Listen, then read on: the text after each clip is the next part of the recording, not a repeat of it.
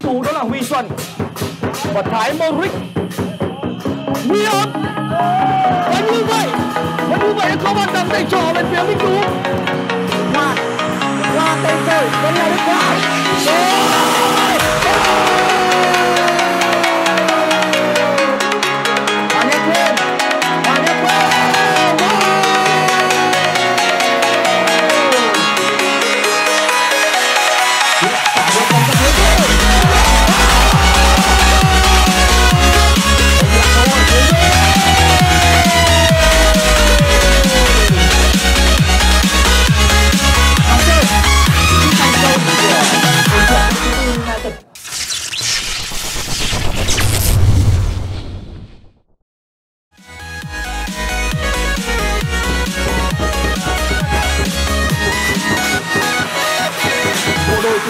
tiền của đội tuyển Minh Tú đó là Huy Xuân và Thái Moric Huy ơn và như vậy, và như vậy có bàn thắng dành trò lên phía Minh Tú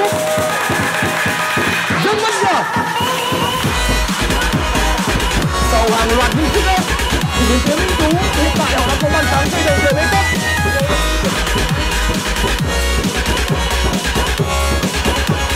Rồi ghi bàn trong pha bóng vừa rồi là cầu mang số áo 88 Trần Hiếu và huấn luyện của bên phía Minh Tú họ đang tỏ ra sức chi tất cả trong những pha thay đổi chiến thuật và cách chơi của mình không quái để diễn để chờ đón được số bóng vừa rồi Hoa Hoa tên rồi Vẫn là Đức Hoa Gol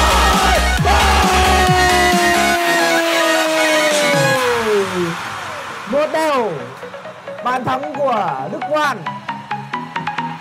Khi mà cao thủ Minh Tú bỏ lỡ thời cơ, Ngay lập tức cao thủ Bình Minh Đã tung ra vào một mã thương. Và đó là đường truyền dài đến tới vị trí của Đức Hoan Để ở trong hiệp một đã chơi ở vị trí trung vệ. Trong bóng người của chúng ta thấy được sự khéo léo sắc sảo của Đức Hoan tình huống kẻ lòng về phía cách xa Chúng ta chỉ môn Chính này solo không làm gì hơn ngoài vào lưới đặt bóng.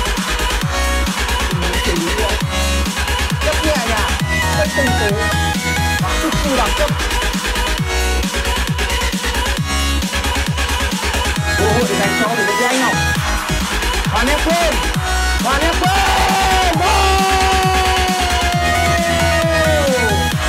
Toàn đường cuồng nhiệt của em quên một cơn dành cho các thủ vệ phía anh Ngọc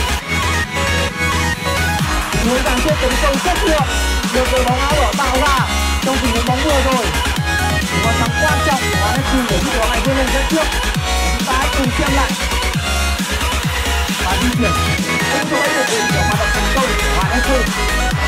đó về phía góc xa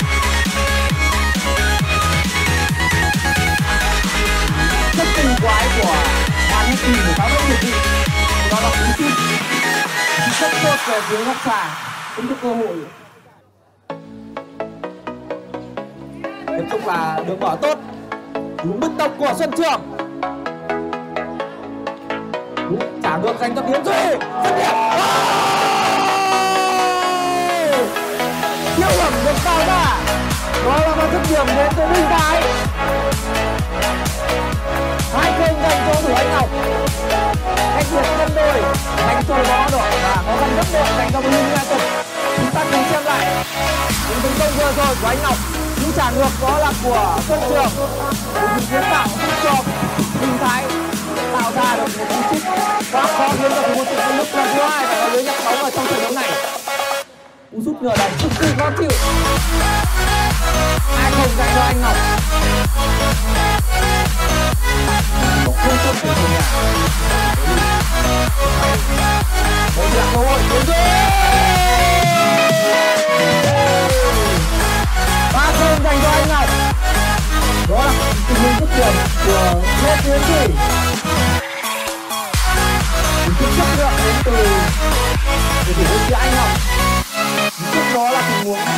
rơi dao. Của cao thủ Nguyễn Vũ Hưng ngay và họ đã đứt tay. Cũng tiếp tế góc gần không có cơ hội giành được thêm cung đích những là bóng vô cùng mạnh đẹp và dũng cảm của Tiến Duy để mang về bàn thắng thứ ba.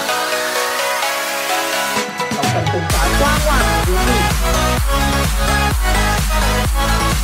Hoàng Sơn cú thành công của đội trưởng Nguyễn Vũ Hưng và tỷ số là giúp Trung thứ ba bàn thắng sẽ không gây hy vọng cho đội không cho uh, thủ thành của anh Ngọc bất kể một cơ hội nào để có thể cản phá.